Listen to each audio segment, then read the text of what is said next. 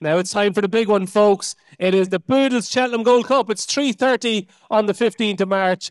And before we hear what the panel think, the most popular winner of this race undoubtedly will be Hewick. And earlier today, we got the views of Shark Hanlon about Hewick, and hopefully those views are going to appear on the screen right now. So I'm delighted to be joined by one of racing's great characters, John Shark Hanlon. I'm going to jump straight into the questions if that's okay with you, Shark. No problem whatsoever. I'm sorry you're not with you tonight, but there's nothing we can do about it. I have another engagement. And I imagine all systems are go now for Hewick and his prep for the Cheltenham Gold Cup. How did he come out of the King George and has he been working well? He came out of King George brilliant, so he did. Couldn't believe it after two days there. He was as fresh as could be. And um, I thought that he got a tough race, but just I think all the horses went so fast in, in the in the King George that they played into his barrow and he came home. Came home fresh and he's after doing a couple bits of work. He was in uh, Naas, done a bit of work in Naas the other day, worked very well. And I had him in Borris uh, yesterday and he done another bit. So listen, one or two more bits of work gets him ready. And please God, I think he improved since last year. So hopefully, um, I'm hoping he did anyway.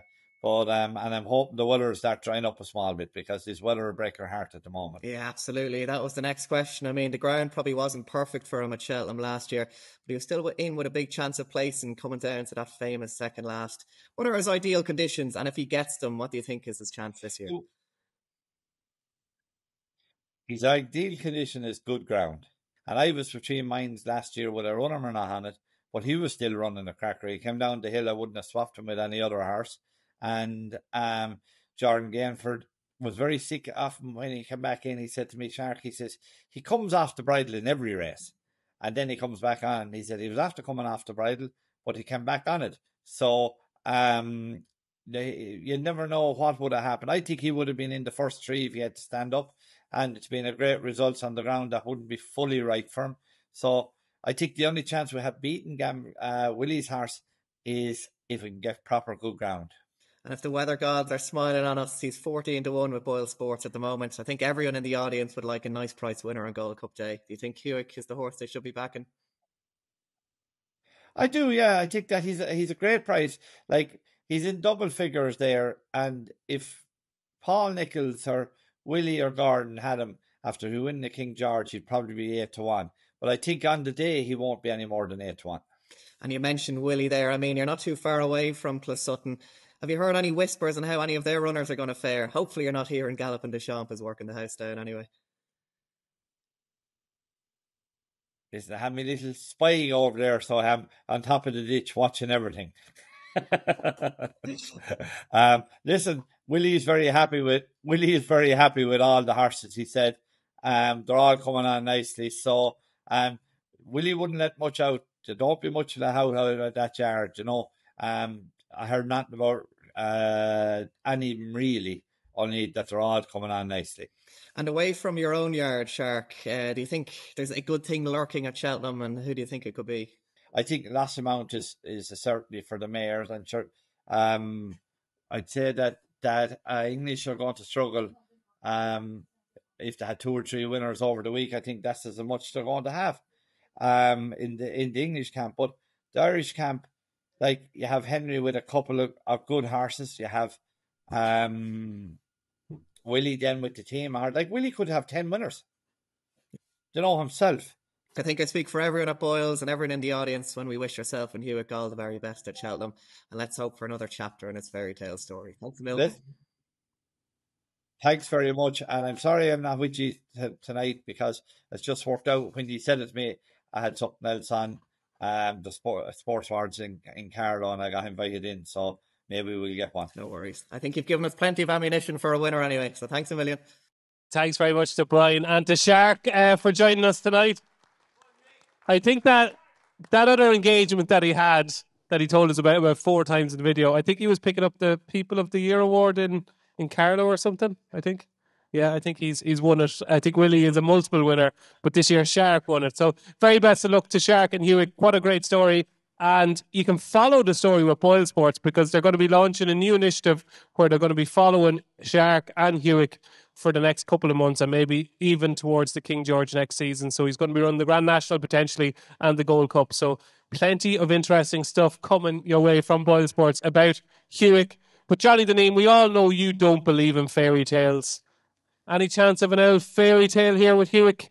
Look, I, I wouldn't have fancied him in the King George, to be honest. You, I'd give it no chance, and I'd probably be giving it close to no chance here too. But that wouldn't mean it wouldn't win. It wouldn't mean it wouldn't win. But look, sure he's doing well to be there, and he's like sixteen to one chances they win. They win on a regular enough basis. So look, he has to have some sort of a chance. I personally don't fancy him, but that wouldn't mean anything. And you don't fancy Hewick, but you don't fancy Galopin Des Champs.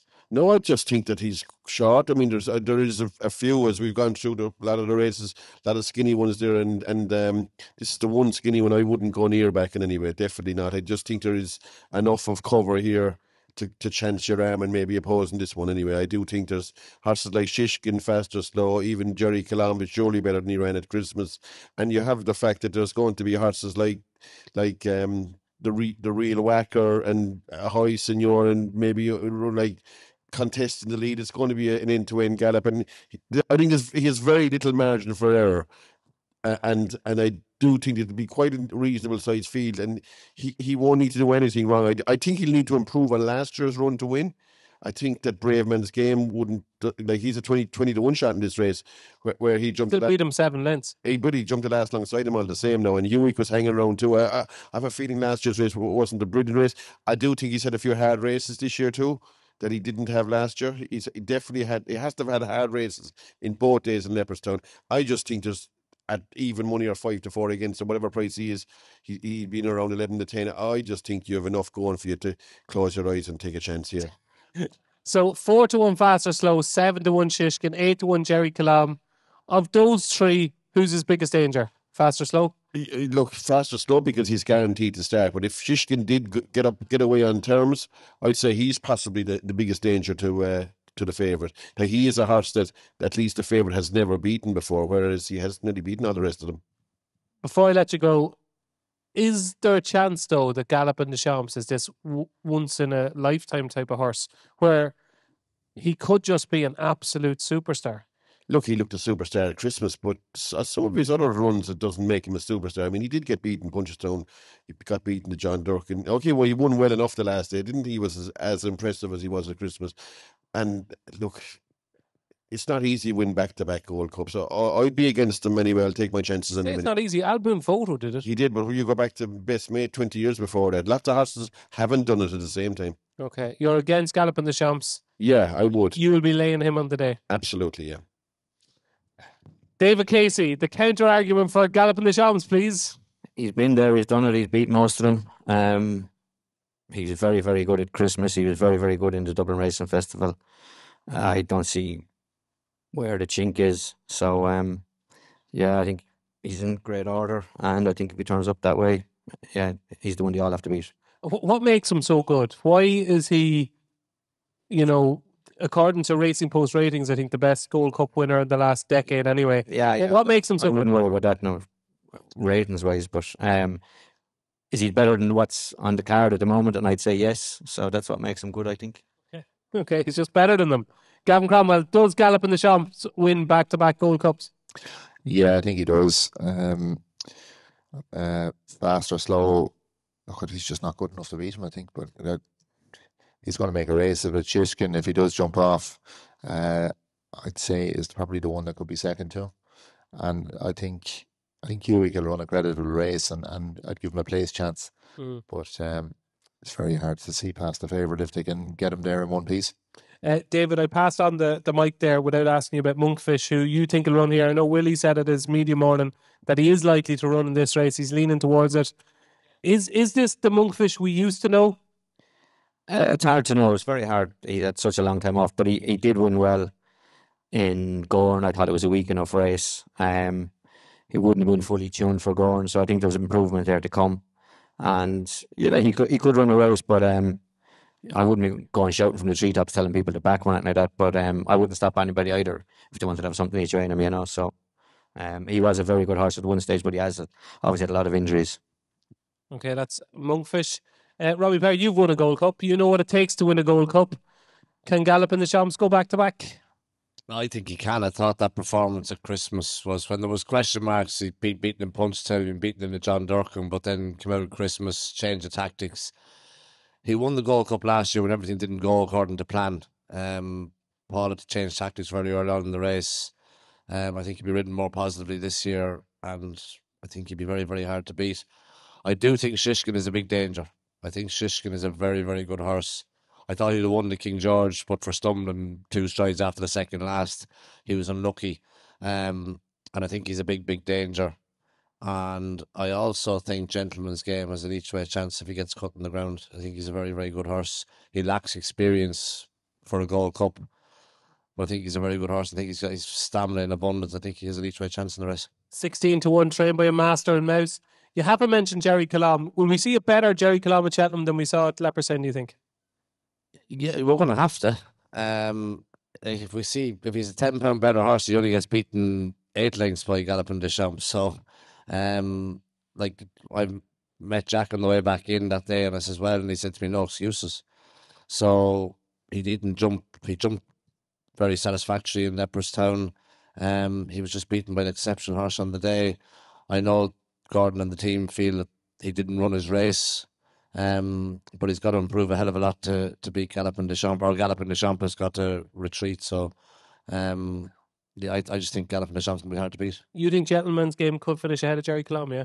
I do, yeah. I just think Gentlemansgame, he's a brilliant jumper. Um, he, I know he lacks experience for, for a race like this, and it probably is going to be a big field. It's not going to be the forerunner Charlie Hall that he won in, in Wetherby. So, um, it's going to be a big ask for him. But touch wood, if everything goes according to plan, he's having a good run. Um, Mouse is very happy with him, and there's no one better than Mouse to tune a horse for the festival, as we all know. So, um, yeah, if a bit of luck on his side, he- he'd have an each way chance in the race. Brilliant. So some positivity around Gentlemansgame in the Gold Cup, currently a 16 to 1 shot with Boyle Sports.